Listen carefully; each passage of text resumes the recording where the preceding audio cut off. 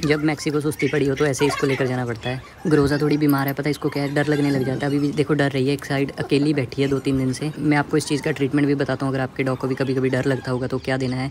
फिर मैं इसके साथ लेट गया क्योंकि अकेली थी, बेचारी डर रही थी। काफ़ी देर सोने के बाद मैं बाहर गया तो ब्लैसी मेरे साथ खेलना चाह रही थी। थोड़ी मस्ती करने के बाद ग्रोजा बाहर आ गई थी।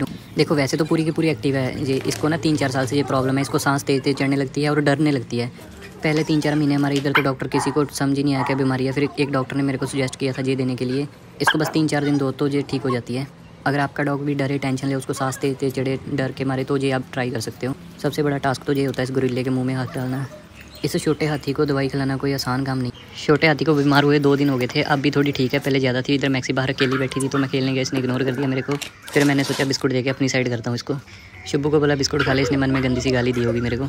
छोटी महारानी पानी पी कर आई तो इसको बिस्कुट मिल गया और गुरोजा को सारे के सारे दे दिए मैंने। मैक्सिनियन टीना खड़ा कर लिया था।